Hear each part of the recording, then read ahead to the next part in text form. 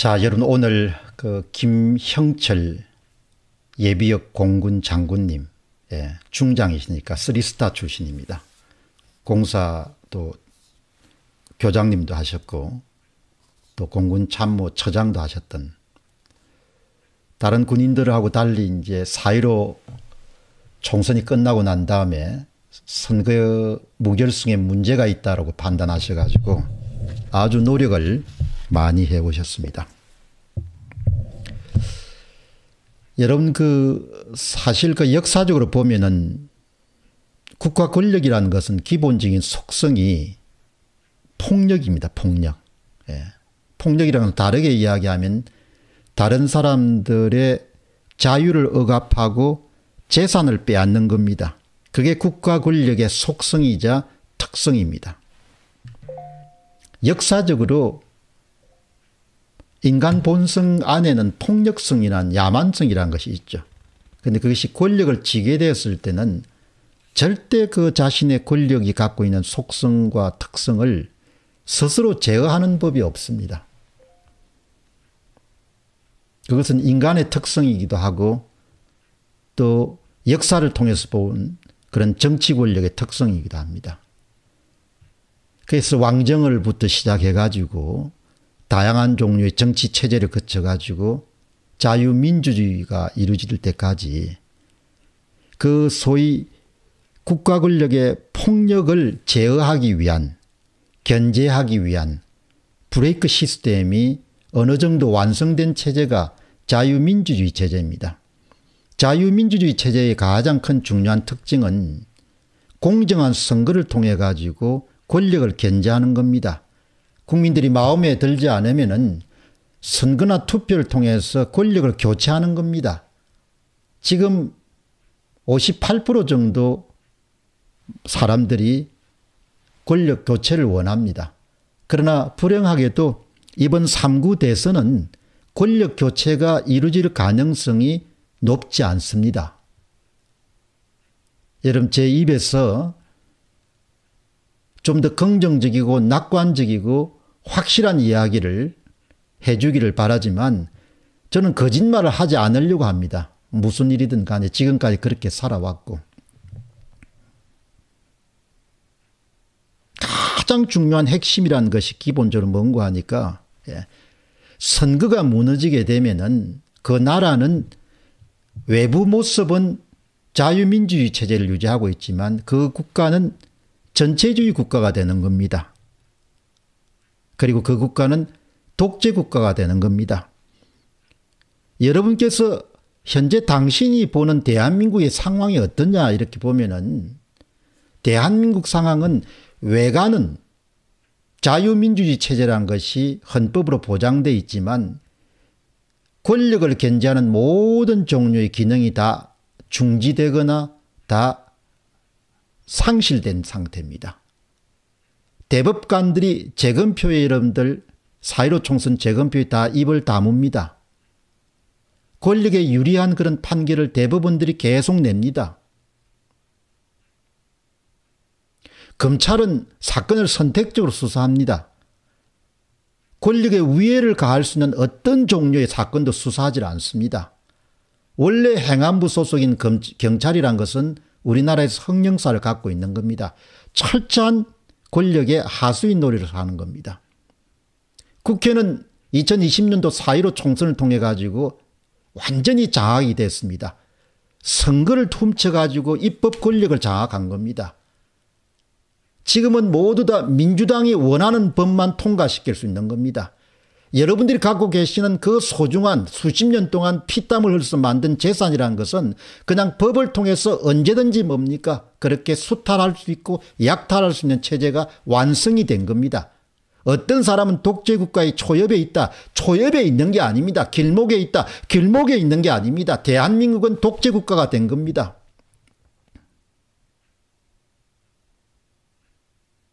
대한민국은 선거를 장악한 그런 586 운동권 정치 세력에 의해서 국가가 납치가 된 겁니다. 하이제킹이 된 겁니다. 국가가 접수가 된 겁니다. 국민들 대다수가 종전선언을 원하지 않지만 정권 말기까지 종전선언을 계속해서 밀어붙인 것이 문재인 정권입니다. 미국이 만일 귀찮다 해서 그냥 용인했으면 종전선언이 되고 주한미군 철수가 다 되는 겁니다. 저는 기본적으로 이재명 후보의 당선을 문재인 시즌2라고 봅니다. 문재인 시즌2는 지금보다 훨씬 더 가혹하고 억압적일 겁니다.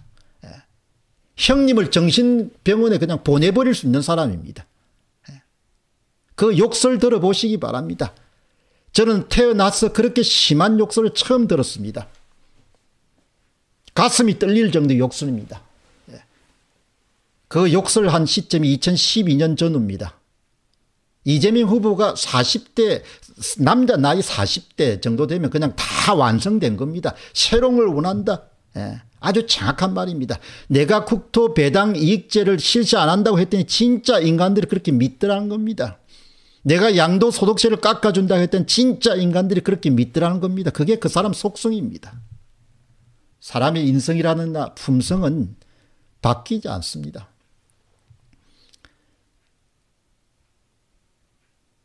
평소에 10%대였던 사전투표율은 2017년도 대선을 통해서 26%대까지 부상했습니다.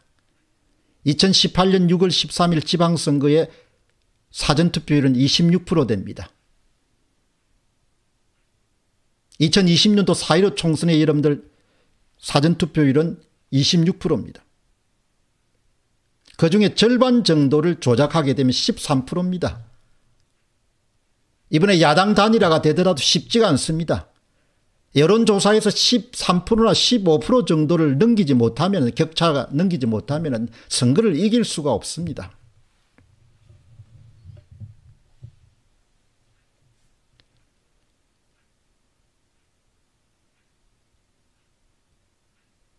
실전을 네번 개친 겁니다. 2017년 대선, 2018년 지방선거, 2020년 총선, 2021년 4.7 보궐선거 네 번 정도의 소위 부정선거를 실험해 본 겁니다. 여러분 네 번 정도는 엄청난 노하우가 축적되어 있습니다. 4.15 총선이 끝난 이후에 수많은 그런 부정선거를 규명하기 위한 사람들의 노력 그 결과를 또 고스란히 그쪽은 다 축적했을 겁니다. 그렇기 때문에 대통령 선거 같은 단일 선거구에서는 그냥 식은 죽먹기입니다. 여러분이 지금 보시게 되는 여론조사 결과라는 것. 윤 후보가 3% 앞섰다. 이재명 후보가 2% 앞섰다. 다 제가 볼 땐 가짜입니다. 예. 거대한 무대 장치 속에서 결국 결과를 만들어내기 위한 국민들을 쇠뇌시키는 작업이라고 저는 이해합니다. 저는 거짓을 이야기 안 합니다. 저는 사실과 진실을 이야기하는 거죠. 윤석열 후보가 내심 선거에 문제가 있다고 하더라도 말을 할 수 없는 상황입니다. 국민의힘은 이준석과 하태경, 김재원류의 부정선거가 없다고 여러분들 굳게 믿고 떠들고 다니는 친구들에 의해서 완전히 장악됐습니다. 국민들을 제외하면 현재 대한민국에서 선거를 공정 선거를 이루기 위해서 헌신하고 노력할 수 있는 사람은 없습니다. 대한민국이 망한 겁니다. 기본적으로.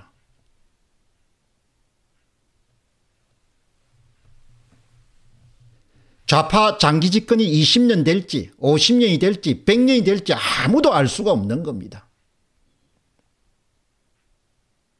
나는 피해가 없을 것이다 믿는 사람들이 있을 겁니다.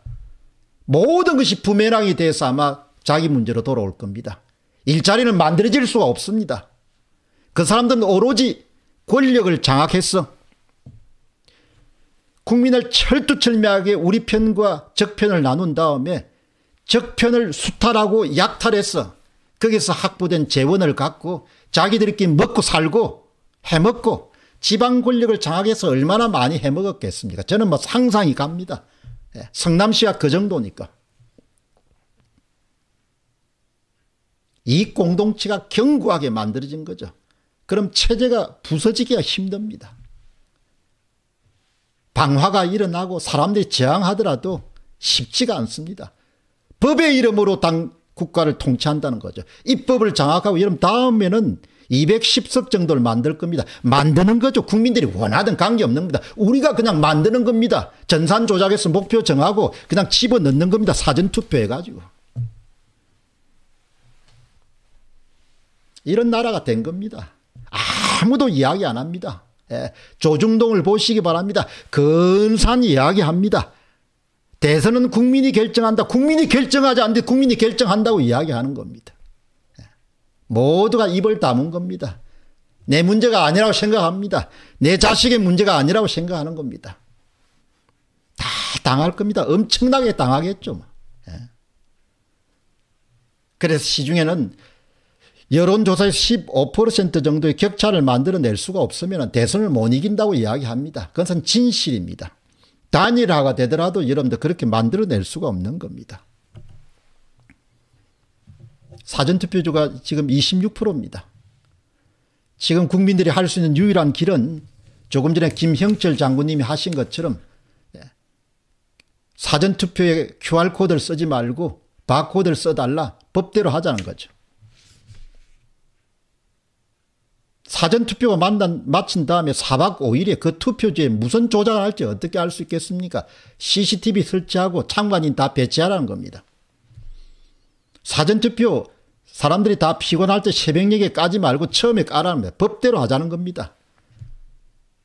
반드시 투표관리관 도장은 그야말로 개인 도장을 찍도록 돼 있습니다. 그것을 중앙선거관리위원회가 다 만들어서 다 배포하지 말라는 겁니다. 이미지 파일을 다 공유해가지고 이렇게 부정선거 투표 만들지 말라는 겁니다. 그리고 국민들이 할 수 있는 것은 모두 다 당일 투표로 가야 됩니다. 당일 투표를. 사전 투표를 10% 이하로 낮추게 되면 성산이 있는 겁니다. 그리고 조금 전에 김형철 장군님 말씀처럼 절대 여러분들 투표지 그냥 소중하게 귀하게 다루지 마시기 바랍니다. 아까, 아까 김혜정 장군님 잘 말씀하시지만 투표지 받으시게 되면은 절반으로 딱 이렇게 세로로 접으라는 겁니다. 세로로, 세로로, 세로로 접으라, 세로로. 얼굴을 세개 접으라는 겁니다. 세 개. 예. 도저히 다음에 펼 수 없을 만큼 세개 접으라는 겁니다. 투표지를. 도장 찍기 전에. 그 다음에 여러분들 이것도 꽁꽁 이렇게 하라는 겁니다. 이렇게, 이렇게, 이렇게, 이렇게 하라는 겁니다. 처음에 세로를 접고 그 다음에 가로를 꽁꽁 접는 겁니다. 예, 그 다음에 펴가지고, 그 다음에 펴가 여기 도장을 찍는 겁니다. 그럼 두 가지가 붙더라도 같은 족이기 때문에, 예, 그렇게 사표가 될 수 없, 그리고 나는 집어 넣는 겁니다. 국민 여러분. 나라가 망하게 됐습니다. 망하게. 대한민국이 망한 겁니다. 대법관들 작태 보시기 바랍니다. 검사들 지금 한 꼴 보기 바랍니다. 경찰들 지금 한 꼴을 보기 바랍니다. 수천억을 해쳐먹어도 뭡니까? 수사 안 하는 겁니다. 그게 나랍니까?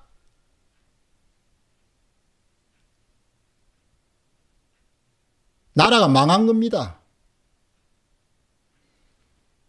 대한민국이 망한 거예요.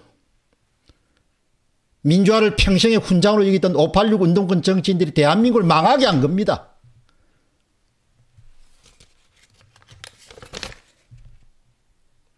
이번에 권력이 뺏기게 되면은 이제 재기가 쉽지가 않을 겁니다. 한 10년, 20년 정도 여러분들 좌파들이 집권하게 되면 완전히 무너질 겁니다.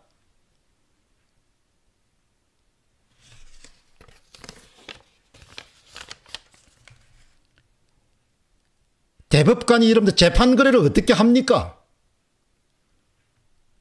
돈을 처먹고 어떻게 여러분들 사람을 봐줄 수 있는 겁니까? 대법관이란 놈이. 이런 일이 일어나더라도 이런 다 이런들 입 다뭅니다. 입을 쳐닫고 사는 거죠. 그러니까 기본적으로. 그게 나랍니까?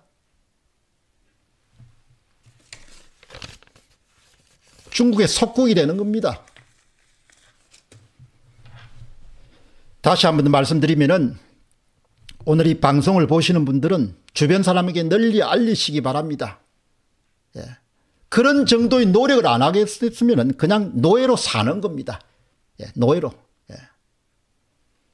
선거를 하더라도 그 선거가 다 짜여진 각본에 따라 돌아가는 겁니다. 예를 북한 선거 보셨죠?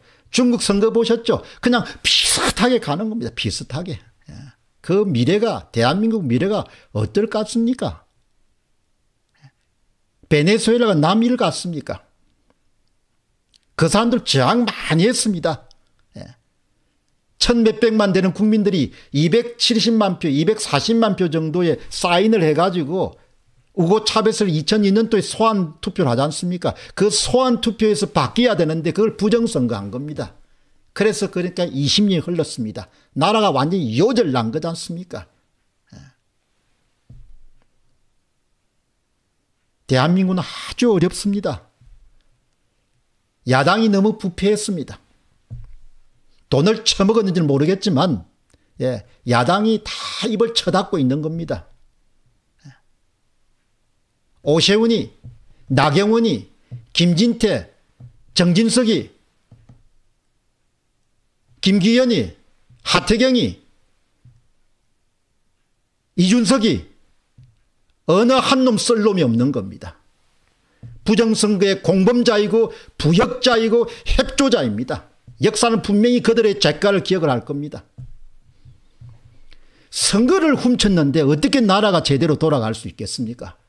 여러분 선거를 훔친 세력들은 자기들께 해쳐먹는 겁니다. 한마디로. 자기들께 해먹는 겁니다. 공공의대를 만들고 대학 입시를 보고 다 지 새끼들 챙기는 겁니다. 나라에 죽든 살든 관계없는 겁니다. 원래 이런 정치를 보면은 권력이란 속성이 그렇습니다. 남들이 죽든 살든 관계없는 겁니다. 베네수엘라가 이러면 완전히 나라가 망해도 뭡니까? 자기들끼리 해먹는 겁니다. 이제 중산층들은 재산을 축적할 기회를 점점 뺏기는 겁니다. 양도 차익 100% 때리자는 이야기가 나오는 겁니다. 양도 차익 좀 깎아주니까 와 달라지는 것 같다 이렇게 생각하시는 분 계시죠. 이재명 후보 생각이 이럴 겁니다. 양도 차익 진짜 좀 깎아주는 것 같으면 진짜 깎아주는 줄 아는 모양이다. 진짜 가붕개네 이렇게 생각할 겁니다. 나라가 이렇게 가는 겁니다. 저는 1990 7년부터 직장생활 1987년부터 직장생활을 했고 그 이후에 체제 문제를 아주 깊숙이 수십 년간 들여다본 사람입니다. 2004년도에 제가 썼던 10년 후 한국이라는 책이 굉장히 많이 읽혔습니다. 그 책이 그냥 나라가 계속 꺼져간다는 겁니다. 예, 꺼져간다. 그것을 훗날 보니까 서울대학의 김, 경제학부의 김세직 교수가 뭘 분석했느냐. 예, 5% 하락 법칙을 발견했지 않습니까? 대한민국을 한 20, 30년 보니까 예, 그냥 계단행으로 내려앉는 겁니다. 예, 계단행으로. 이제 계단행이 급속히 진행되겠죠. 국가 권력이 비대해지고 그러면 나라는 가라앉는데 그런데 이 나라는 기본적으로 뭡니까? 선거를 훔친 겁니다. 대한민국 규모의 국가에서 부정선거가 관행화되고 체제화되고 시스템화된 유일한 나라가 이 나라입니다. 그래도 국민들은 다 편안하게 잘 갈 거로 삽니다. 예, 그리고 5% 누가 이겼다, 5% 역전됐다, 박수 칩니다. 예, 윤석열이 될 거다. 윤석열이 어떻게 됩니까? 안철수가 될 거다. 안철수가 어떻게 되냐고요.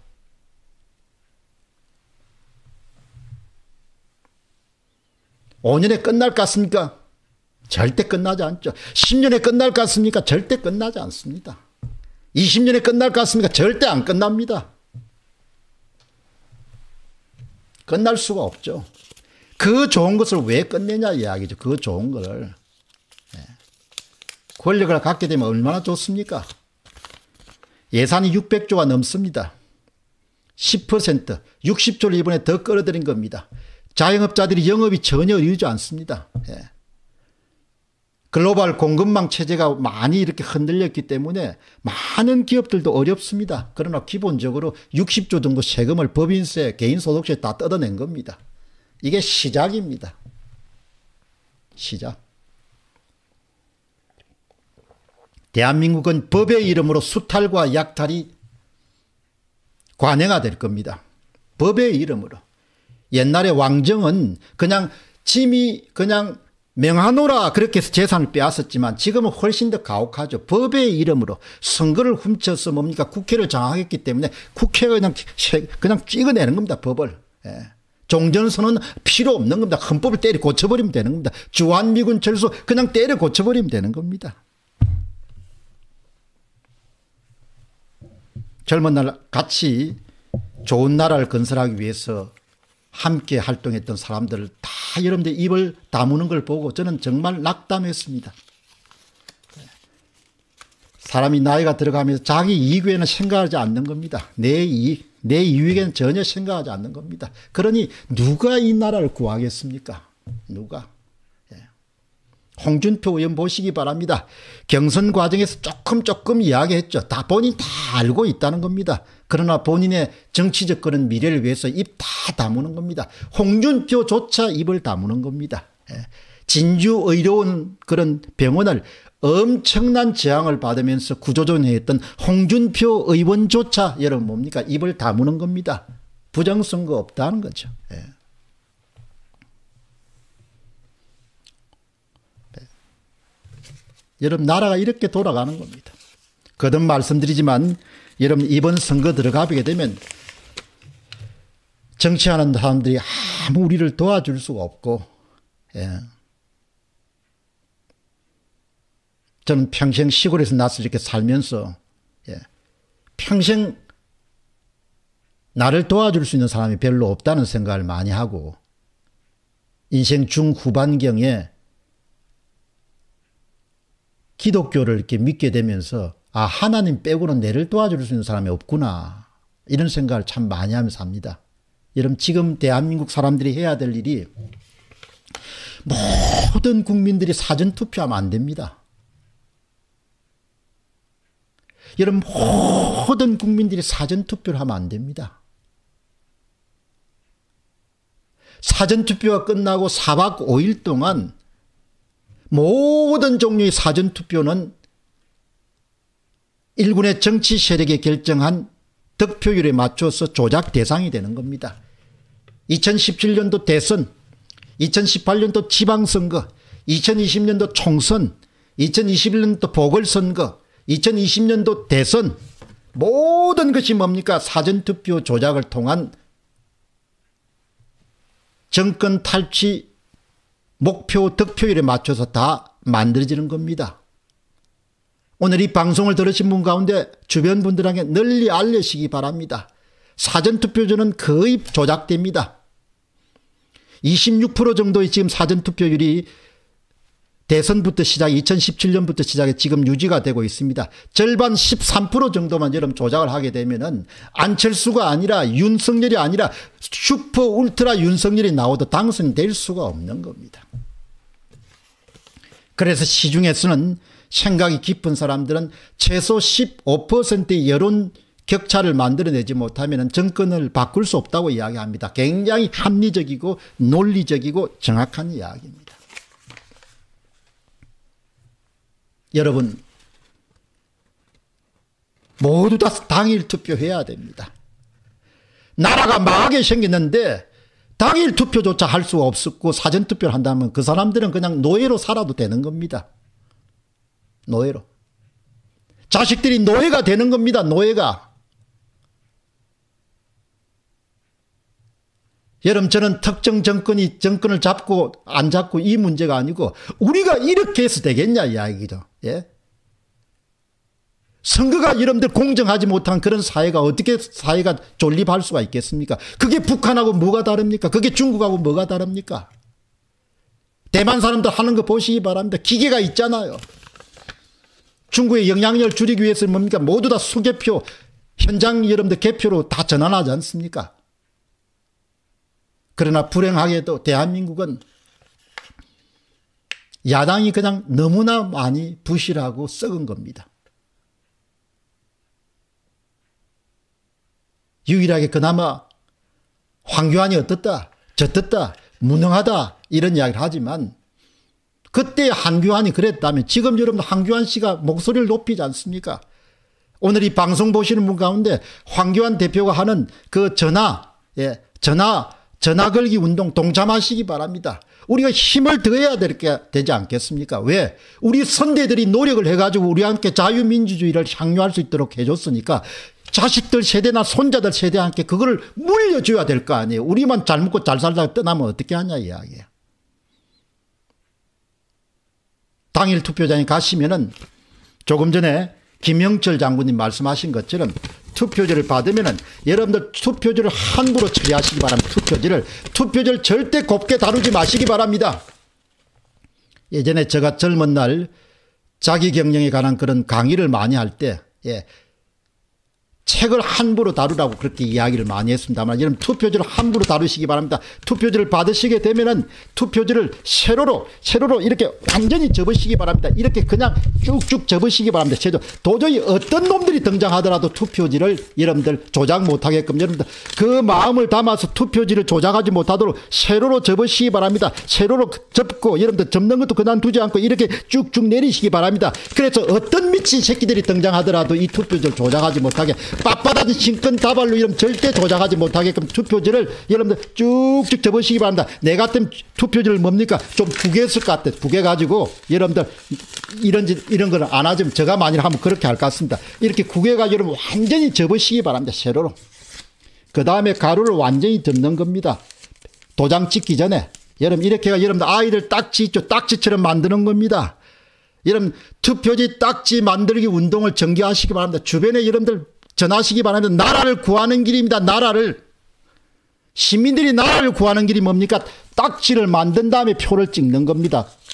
딱지를 만든 다음에 만년 도장을 가지고 여기에다가 찍는 겁니다. 이것이 나라를 구하는 길입니다.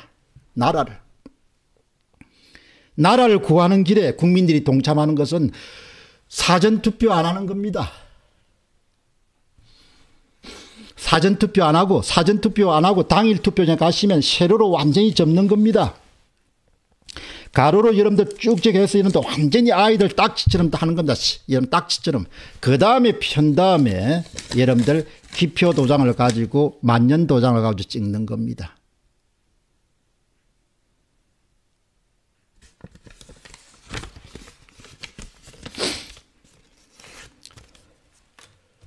현재 대한민국 상황은 조금 전에 제가 여러분이 말씀드렸다처럼 예, 전체주의의 길목에 있는 것도 아니고 독재로의 길목에 가는 중이 아닙니다. 독재가 된 겁니다. 근만 독재가 아닌 것처럼 보이는 겁니다. 여러분들 대장동 개발 비리 사건이 수사 안 하잖아요. 그게 정상적인 국가에서 일어날 수 있습니까? 정상적인 국가에서 일어날 수가 없죠. 4.15 총선에서 그 엄청난 천문학적인 뭡니까? 이상한 투표지가 이런 발생하더라도 여러분들 대법관들이 판결 안 내립니다. 126개 가운데서 꼴랑 지금까지 4개 했습니다. 여러분 그 투표 재검표 현장에서 조재현과 같은 그런 대법관들이 보이는 작태 보시기 바랍니다. 그게 민주국가 정상국가에서 할 수 있습니까? 대법원에서 확보된 목적물, 배춧잎 사전투표지, 인천연수원에서 사전투표지 같은 것을 뭡니까? 위조해가지고 변호사한테 주지 않습니까? 대법원에서. 대법원 사무관이 위조된, 변조된 배춧잎 사전투표지를 박주인 변호사에게 전달하는 거지 않습니까? 이동환 변호사에게 전달하지 않습니까? 그게 정상국가입니까? 나라가 망한 겁니다. 나라가. 586 운동권 좌파 세력들이 나라를 하이제킹, 그냥 나라를 그냥 납치한 겁니다. 그리고 선거를 납치한 거죠. 선거를 그냥 장악해버린 겁니다. 언론을 장악한 겁니다. 어떤 언론도 뭡니까? 민주주의 그 자체인 투표의 공정성 문제나 부정성 문제를 거론 안 하는 겁니다.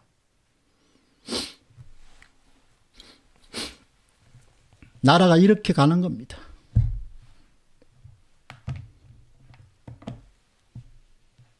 결말은 베네수엘라가 될 겁니다. 저는. 해외 동포들이 의약품을 보내야 될 지경까지도 갈 수 있겠죠.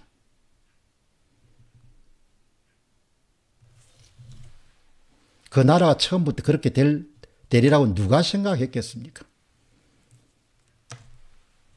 그 나라의 국민들이 또 우리보다 훨씬 더 심하게 저항했습니다.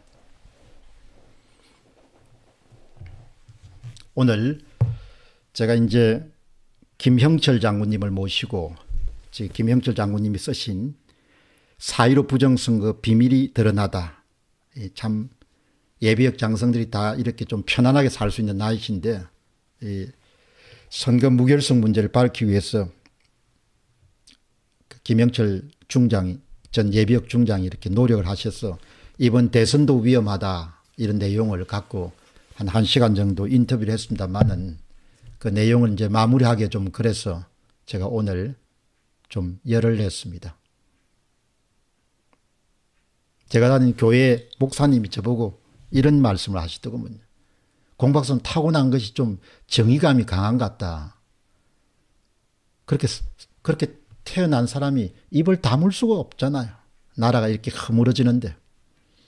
그래서 오늘 여러분들 제 말씀을 잘 이렇게 좀 새기시가 물론 다 아시는 분들도 많으실 겁니다. 주변에 젊은 분들에게 그렇게 좀 전하셔서 나라가 정상적인 상태로 그렇게 갈 수 있도록 그렇게 하시고 가끔 또 이제 9시 공병호에서는 또 제가 하는 것을 주로 많이 하겠지만 중간중간에 좀 이렇게 필요한 그런 인터뷰를 함께 여러분 진행하도록 하겠습니다.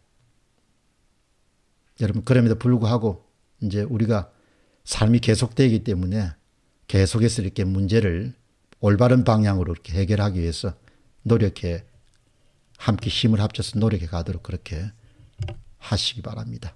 오늘 방송 정말 고맙습니다. 여러분 참여해 주셔서 감사합니다.